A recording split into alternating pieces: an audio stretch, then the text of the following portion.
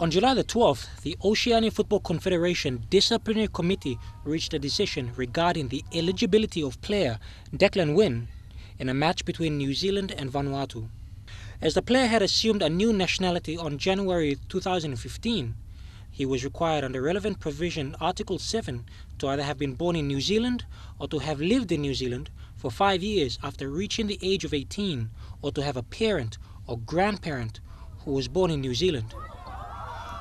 After deliberations, the committee decided that Wynne was ineligible to play in the OFC Olympic qualifying tournament as he did not meet the requisite requirements set out in the FIFA regulations governing the application of the statutes.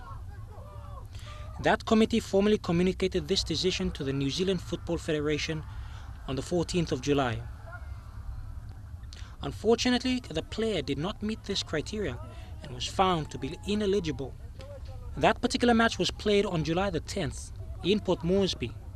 The decision has long term ramifications for New Zealand, as huge financial investments have been made on the team, and while it directly affects one player, the Federation could have their own set of issues to deal with, considering upcoming major tournaments such as the Women's Under 20 and Senior Men's World Cup events. Jeremy Moggy, National, EMTV Sports.